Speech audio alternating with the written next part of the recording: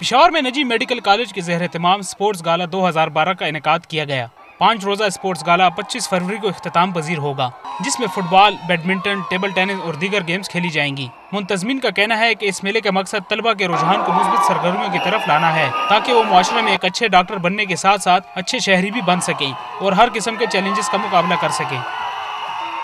Positive attitude इनको लाने के लिए हम करते हैं, ताकि इनमें एक तो टॉलरेंस का मादा पैदा हो स्पोर्ट्समैनशिप इनमें आ जाए।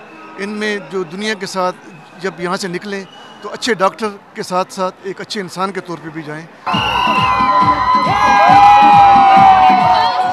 इस मौके पर तलब तलबात का जोश और खरोश दीदनी था। इनका कहना है कि मेडिकल की पढ़ाई काफ़ी सख्त होती है। इसलिए इस किस्म की सरगर्मियों से तलबा को पढ़ाई के साथ साथ दीगर शोबों में भी अपनी सलाहियत मनवाने का मौका मिलता है। इनका कहना है कि मौजूदा हालात में इस किस्म के मेले नेमत से कम नहीं।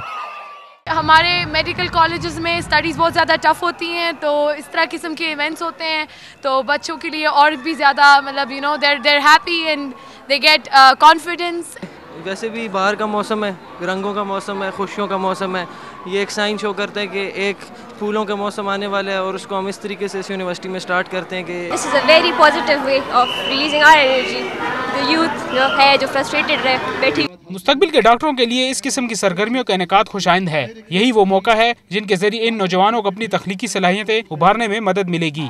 Bilal Ahmad, Dawn news, Peshawar.